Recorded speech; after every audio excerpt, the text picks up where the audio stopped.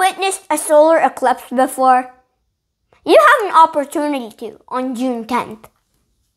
Skywatchers in North America can enjoy a solar eclipse happening coming Thursday in the morning.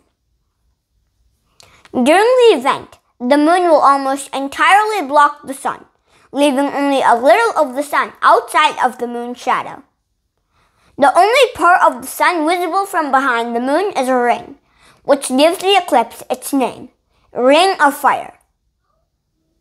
Only a few locations will be able to see the total eclipse, including parts of Canada, Greenland, and northern Russia.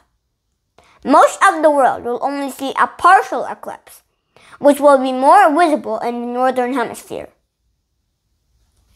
A solar eclipse occurs when the moon moves between the earth and the sun, blocking some or possibly all of the light coming from the sun. NASA says the ring of fire phase occurs when the moon covers at least 89% of the sun and can last up to 3 minutes and 51 seconds at every point along its path. This is Joe reporting for Kids News Tube from Burlington, Toronto.